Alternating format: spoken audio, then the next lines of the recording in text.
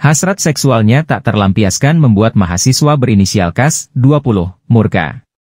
Dia pun berupaya membunuh teman kencannya yang juga berstatus mahasiswa, NRS, 19.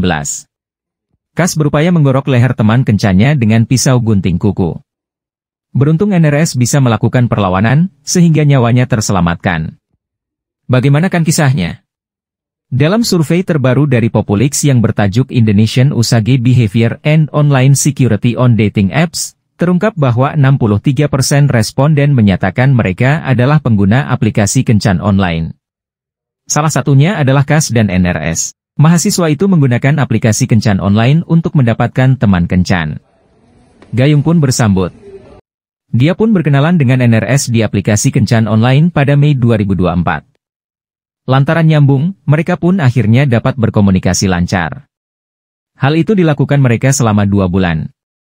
Lantaran sudah dekat dan percaya akhirnya KAS dan NRS sepakat bertemu. Sesuai kesepakatan KAS menjemput NRS di rumah teman NRS, yakni R pada Sabtu 20 Juli 2024 pukul 22.30 WIB, kata Kasih Humas Polres Metro Jakarta Selatan AKP Nurmadewi. Pertemuan pun terjadi di rumah R. Setelah terjadi perbincangan lalu Kas mengajak NRS ke apartemen di kawasan Lenteng Agung, Jagakarsa, Jakarta Selatan. Tanpa pikir panjang NRS pun menerima ajakan itu. Kas dan NRS pun berangkat menuju apartemen tersebut. Kisah bahagia pun terjadi. Kas dan NSR menemukan chemistry. Mereka pun asyik ngobrol hingga menonton televisi. Merasa suasana menjadi romantis, Kas pun mengajak NRS untuk bercumbu mesra. Namun, ketika Kas meminta untuk bersetubuh, NRS menolaknya. Kas tak marah saat itu, namun pikirannya untuk menyetubuhi NRS terus melayang. Besoknya, mereka pun meninggalkan apartemen. Sesuai dengan kesepakatan Kas mengantar NRS pulang. Namun dalam perjalanan pulang, Kas mengajak NRS keliling Jakarta. Lalu, menuju kawasan Barito, Kebayoran Baru, Jakarta Selatan. Dia memarkirkan mobil di pinggir jalan. Di saat itu, Kas pindah ke jok belakang. Lalu meminta NRS juga pindah ke belakang. NRS pun menurutinya. Kemudian Kas meminta NRS melakukan hubungan badan. Tapi, NRS hanya diam membisu. Melihat NRS diam, Kas emosi. Dia lalu mengambil gunting kuku dan mencukil pisaunya. Kemudian Kas menganiaya NRS.